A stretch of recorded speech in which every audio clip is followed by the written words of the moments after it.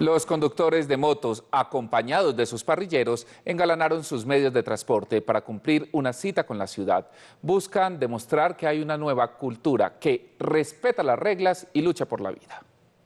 El puente de la 4 Sur fue el punto de encuentro para que cientos de personas acompañadas de su modo de transporte, deporte o diversión, es decir, la moto, se dieran cita. Esta vez la protagonista era ella y por eso fue la consentida una manera de demostrar la nueva cultura del motociclista que cada vez se abre más campo en las vías de la ciudad. Demostrar la unidad de los motociclistas, el orden, que nos podemos organizar para poder hacer cosas buenas, para que se acaben esos mitos de que somos simplemente lo malo del gremio.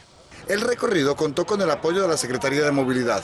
Este año, cerca del 54% de los incidentes con mortalidad en Medellín son motociclistas. No queremos que ni un solo motociclista más muera en las vías de nuestra ciudad. Por eso queremos hacer campañas de la mano con ellos. Por eso queremos generar diferentes alternativas que nos permitan que la cultura de las motociclistas sea cada vez mejor.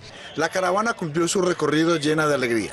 Fue una fiesta por la vida, por el respeto a la vía y a la vida del motociclista.